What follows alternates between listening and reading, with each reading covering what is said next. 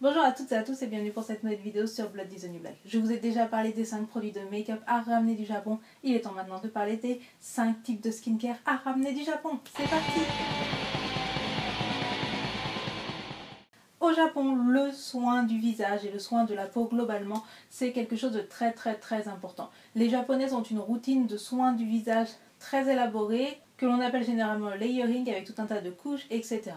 Les soins japonais sont généralement d'un excellent niveau et j'ai envie de vous dire que presque tous les soins japonais sont très très bons. Cependant, il y a quand même des choses que je vous conseille plus que d'autres.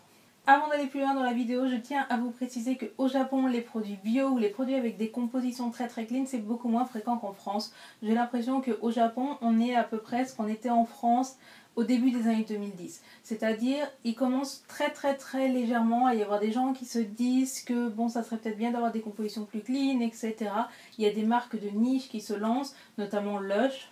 Même si Lush n'est pas parfait, en tout cas Lush est très populaire au Japon et a des compositions dans l'ensemble plus clean que la majorité des produits que vous trouverez au Japon. Mais sinon, euh, clairement, les produits que je vais vous présenter ici sont des produits chimiques. Et c'est la raison par exemple pour laquelle je ne vais pas du tout vous parler de produits capillaires, puisque moi j'utilise des produits capillaires sans silicone et sans parabènes la plupart du temps. On trouvait au Japon, bah, j'achète des produits chez Lush. Hein, voilà. Donc c'est pour vous conseiller d'aller à Lush, euh, c'est pas la peine de faire une vidéo spéciale Japon, ok? Donc je vais majoritairement vous parler de produits de soins du visage, puisque c'est ce qui est le plus élaboré ici. Et nous allons voir ensemble les 5 produits de skincare à ramener du Japon.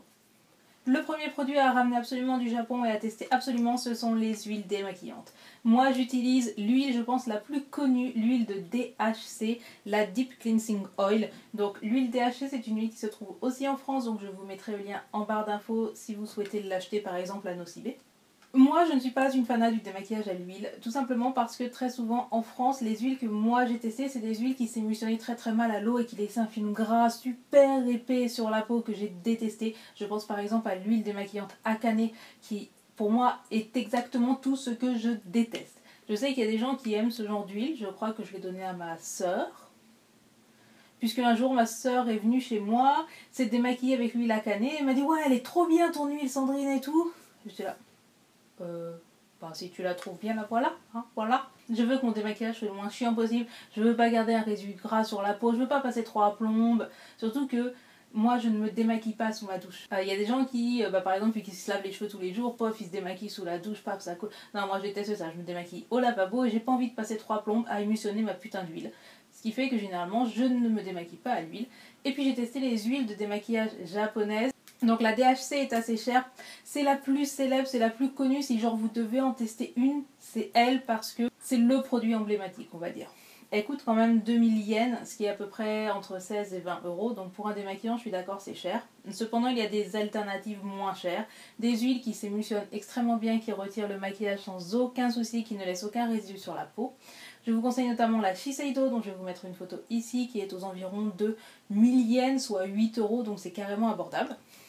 Cette huile, je l'utilise depuis le premier jour où je suis arrivée au Japon, donc depuis le 1er juillet. Nous sommes le 5 septembre.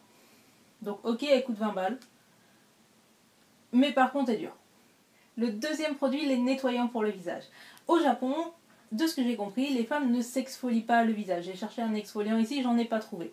À part chez Lush. Mais là encore, Lush, ce n'est pas le Japon. Les femmes ne s'exfolient pas le visage, tout simplement parce qu'elles utilisent généralement un nettoyant pour le visage quasiment tous les jours pour le visage sont sous la forme de mousse, d'une mousse très très très très dense. Donc moi, il y a deux produits que je vous conseille absolument dans ce domaine. Le premier, c'est le Perfect Whip de Shiseido qui n'est plus à présenter, qui est vendu partout, même dans la supérette du coin, au fin fond de nulle part, vous aurez un Perfect Whip de Shiseido. C'est le produit emblématique en termes de nettoyage du visage. Le Perfect Whip est une sorte de gel euh, que vous allez mettre dans votre main. Vous moussez, vous moussez, vous moussez, vous moussez. Et ça va vous faire une mousse plus ou moins dense suivant comment vous moussez ou quels ustensiles vous utilisez. Et vous l'utilisez sur votre visage. Et après, vous rincez. Moi, le produit que j'adore et que je vous recommande en ce moment, c'est le Beauty Whip Soap de Kanebo Evita. Puisque c'est un nettoyant pour le visage à la rose, qui a la particularité de donner une mousse en forme de rose. C'est extrêmement gadget, mais c'est aussi ça qui est bien au Japon, c'est que eh ben, le packaging c'est la vie. Et moi, vous le savez, je suis une grosse fanatique des packaging. Alors, le truc qui, fait, qui sort une rose pour te nettoyer le visage, je trouve ça génial. Donc, tout comme le Perfect Whip, euh, je l'utilise pas tous les jours parce que je suis je, suis pas quelqu'un qui va me mettre un savon sur la peau tous les jours. vraiment, c'est pas, j'ai pas eu cette habitude en France et je sais pas. Donc je le fais tous les 2-3 jours. La mousse est d'une densité, mais de ouf, c'est vraiment un cocon à mettre sur la peau, c'est extrêmement agréable. L'odeur de rose est présente, mais n'est pas non plus écœurante. C'est un produit qui coûte environ 1200 yens, je crois environ 10 euros. Et pareil, je l'utilise donc 2-3 fois par semaine depuis que je suis arrivée au Japon et je n'en ai pas racheté une seule autre boîte. Donc euh, bah voilà. Euh, clairement, j'adore ce produit. Ça sent bon, c'est beau, le packaging est à tomber. Bref, testez ce truc parce que vous nettoyez le visage avec de la mousse en forme de rose, et ben je vous jure, il n'y a qu'au Japon que vous pouvez trouver ça. Numéro 3, les lotions pour le visage. En France, la lotion, c'est généralement un truc pour parfaire son démaquillage. On utilise de l'eau d'avenne ou de l'eau florale, bref, des choses qui sont plutôt là pour euh, nettoyer, donner un petit coup de fouet et réveiller. Ok. Au Japon, c'est pas le cas. Au Japon, la lotion, c'est la première étape des soins. Ce qui veut dire que les lotions au Japon sont généralement concentrées en acide hyaluronique ou dans ce genre de choses qui vont apporter une première couche de soins à votre peau. La lotion que je vous recommande et qui est la lotion numéro 1 que l'on s'arrache actuellement au Japon, que vous trouverez dans tous les drugstores, etc., c'est celle-ci. Il s'agit de la Skin Conditioner de Naturi, qui est à l'iris. Donc c'est une lotion dans un très très grand format puisqu'elle fait 500 ml pour seulement 400 yens. C'est-à-dire qu'elle coûte 3,50€ et c'est une des meilleures lotions que je connaisse. Elle est légèrement hydratante, elle est apaisante, elle pénètre très très bien dans la peau, elle laisse vraiment la peau rebondie et tout ce que vous voulez. Elle a une très très très légère odeur, mais vraiment c'est pas grand chose. Et euh, bah, la lotion, c'est vraiment un produit que je vous recommande. Les lotions japonaises sont parmi les meilleures du monde. Je trouve qu'elles sont toutes bien, mais celle-ci est ma préférée en termes de rapport qualité-prix. Donc moi je l'ai en 500 ml, ce qui est peut-être un petit peu stupide à acheter euh, parce que bah, je redéménage à Tokyo là et que j'avais vraiment besoin de me prendre un truc qui fait un demi-kilo. Hein, voilà. Elle existe aussi en bidon d'un litre. Bref, bref c'est un produit que les japonaises adorent. Euh, c'est un produit qui a été récompensé par Cosme, qui est le classement cosmétique au Japon auquel vous pouvez vous fier à peu près les yeux fermés. Sachez que dans la gamme, la crème pour le visage a aussi eu un très très très bon classement chez Cosme. J'ai essayé de ne pas vous présenter de crème pour le visage ici, tout simplement parce que je trouve qu'en France, on a de très très bonnes crèmes pour le visage. Le Japon, euh, bah, elles sont bien les crèmes pour le visage au Japon, il n'y a pas de souci. Mais en France, on fait aussi très très bien. Et j'ai pas trouvé de crème pour le visage qui me fasse me dire oh là là, le Japon c'est tellement ouf. Non, elles sont bien, mais c'est pas c'est pas transcendant non plus quoi. Enfin ma crème Clarins, elle est très bien. Et voilà. Numéro 4, et ça c'est particulièrement si vous venez au Japon en été, ce sont tous les cosmétiques qui sont destinés à vous rafraîchir. Puisque au Japon il fait euh, très très très très chaud, les Japonais ont inventé tout un tas de technologies qui vont vous permettre de vous rafraîchir. Comment est-ce que ça fonctionne? Eh bien grâce à probablement du menthol ou du camphre, etc. Vous passez ces cosmétiques sur certaines parties de votre corps et ça va vous donner une sensation de fraîcheur. Donc le type le plus connu, ce sont les lingettes. Euh, vous en trouverez euh, partout. Donc celles-là, c'est des lingettes de chez Daiso à 100 yens, hein, tout simplement. Et c'est écrit ici que ce sont des refreshing lingettes. Ces produits vont vraiment vous aider, notamment quand vous allez partir en randonnée et qu'il fait très chaud, etc. Vous pouvez passer ça et ça va légèrement vous rafraîchir. Cependant, attention, je vous conseille de tester uniquement les lingettes pour filles euh, si vous n'êtes pas habitué, puisque bah, pour être honnête, les lingettes pour mecs, elles sont mais d'une violence mais vous pouvez même pas imaginer à quel point ça vous frigorifie sur place et c'est même pas très très agréable en fait. Mais aussi faites attention quand vous achetez des produits d'hygiène et notamment par exemple des déos. Euh, faites attention à ce que ça ne soit pas des déos rafraîchissants. Puisque euh, j'ai voulu m'acheter un déo ici et puisque je ne suis pas une japonaise, je suis beaucoup plus qu'une japonaise. Donc autant vous dire que euh, je tape dans les déos pour mecs donc euh, j'ai pris un déo euh, pour mec euh, de la marque Gatsby qui est une marque de cosmétiques pour mec. J'en ai pris un, voilà, c'est un roll-on et qui n'a pas d'odeur, ce qui est très bien. Sauf qu'en fait ce que je ne savais pas c'est que ce déo a un effet fraîcheur. Donc du coup tu le mets sur tes aisselles et à peu près, genre, tu vois, c'est vicieux, ça se fait pas tout de suite, c'est genre au bout de 2-3 minutes, le truc commence à te brûler sous les aisselles parce qu'en fait, c'est tellement froid que ça te brûle et ça te laisse une sensation ultra désagréable pendant genre 15 minutes. Alors, je peux vous assurer que puisque j'ai déjà testé les lingettes euh, rafraîchissantes, je connaissais la sensation et je me suis dit, ah oui, c'est ça, mais sinon, c'est un coup à te faire flipper parce que ça te brûle les aisselles. T'as l'impression de faire une réaction allergique de ouf Alors que non, pas du tout, c'est juste que bah, c'est là pour te rafraîchir. Donc faites gaffe. Et euh, bah, du coup, c'est très probablement écrit qu'il est rafraîchissant. Mais euh, bah, comme tout est écrit en japonais et que je ne l'avais pas lu, bah, voilà, c'était la surprise. Donc faites gaffe. Et enfin, le dernier produit de skincare à ramener absolument du Japon, il va pas vous étonner, ce sont les masques pour le visage. Les masques pour le visage, alors certes, c'est plutôt quelque chose qui est originaire de Corée, mais les Japonais et les Japonaises les ont adoptés, mais de ouf. Je vois même des mecs en train de regarder le foot à la télé avec leur masque sur le visage. Ici, c'est tout à fait normal. Donc, messieurs les Français, prenez-en de la graine. Il n'y a aucune honte à se faire un petit son pour le visage. Ici, donc, il y a plein de masques. Parmi les plus connus et ceux que je vous recommande, c'est clairement les masques de chez Lululune. Donc ils se vendent en paquet comme ça et là-dedans en fait vous avez 7 masques. Les 7 masques doivent coûter quelque chose comme 700 yens, donc autant vous dire que c'est carrément abordable. Mais évidemment ce qui nous intéresse au Japon et ce qui est le plus amusant, ce sont les masques un petit peu Et moi, deux masques que j'aime tout particulièrement, bah déjà il y a celui-ci qui est un masque aux couleurs de Lady Oscar. Donc a priori il y a plusieurs types de masques.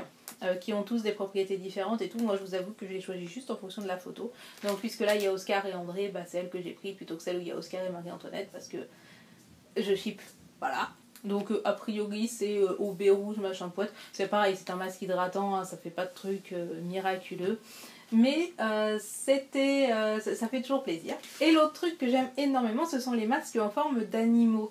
Donc évidemment, j'ai acheté un masque panda. Je sais pas si je le fais juste toute seule un soir, ou si je le fais pendant un live Instagram, ou si je le fais euh, dans le cadre d'une vidéo entière, ma routine du soir, 100% japonaise, machin pote mes fesses. Mais en tout cas, j'ai pris un masque panda. Donc quand vous le mettez, vous voyez, quand vous le mettez, a priori, vous avez un petit panda sur la tête.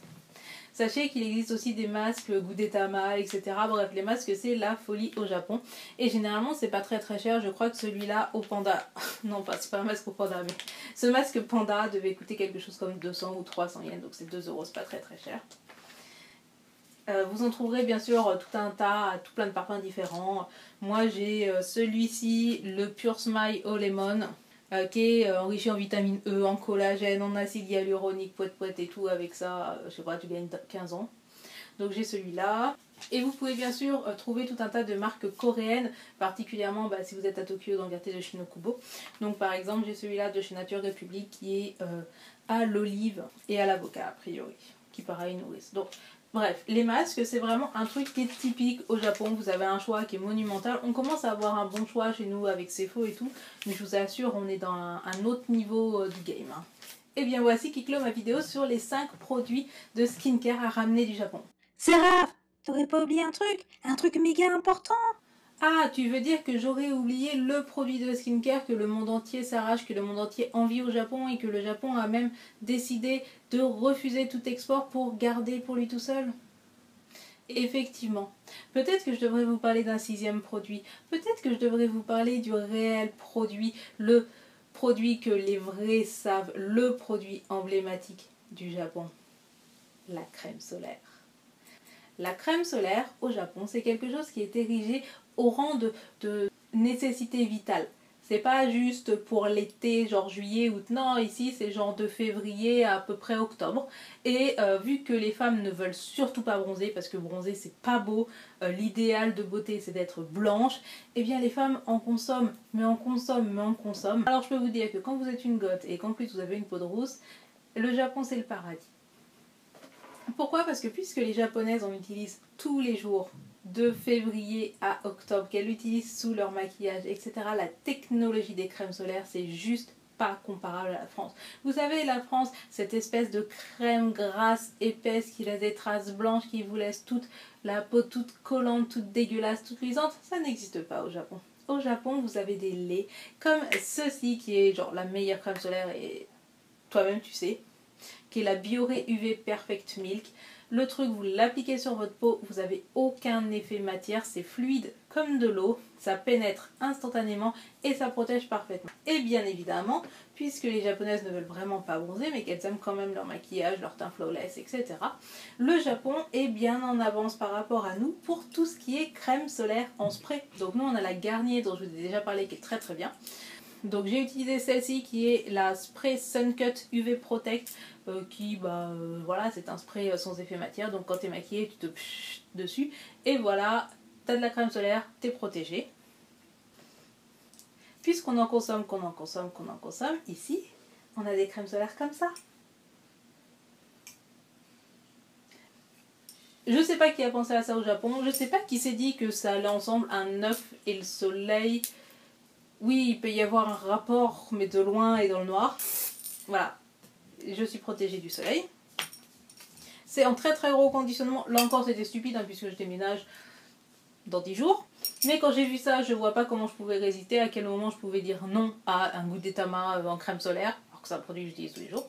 Ça, ça m'a coûté 1200 yens. Donc ça, ça m'a coûté 1200 yens. Et euh, c'est les 1200 yens les mieux dépensés de la vie que je pense. Sachez que pour diverses raisons, les exports de crème solaire japonaises sont interdits, donc du coup vous ne pouvez plus trouver la crème, la Bioré Perfect Milk sur les sites de revente de produits asiatiques, ni sur Amazon, etc. Ou alors très très difficilement, puisque les exports sont interdits maintenant. Donc quand vous venez au Japon, vous en prenez le stock et vous en dealez en France à vos copains copines parce que je peux vous assurer que rien ne les égale. Voilà, c'est bon, on a fini maintenant.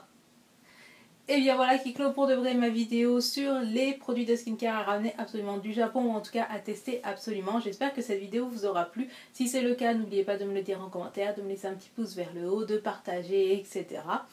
Euh, je remercie évidemment toutes les personnes qui ont typé et qui ont participé à mon Tipeee parce que vous m'aidez à faire plus de vidéos, etc.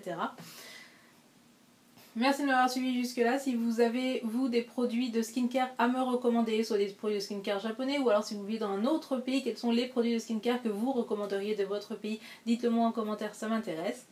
En attendant la prochaine vidéo qui sera le vlog hebdomadaire de dimanche, n'oubliez pas d'allumer la lumière et on se dit à très bientôt. Tchuss